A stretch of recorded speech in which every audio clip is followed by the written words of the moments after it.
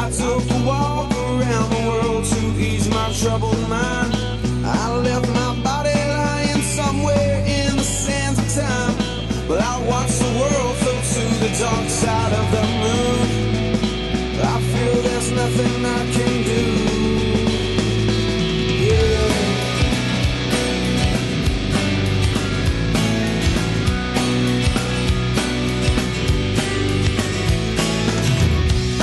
the world fell to the dark side of the moon.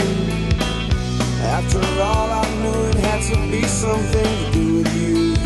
I really don't mind what happens now and then, as long as you'll be my friend at the end. If I go crazy, will you still call me Superman? If I'm alive and well, will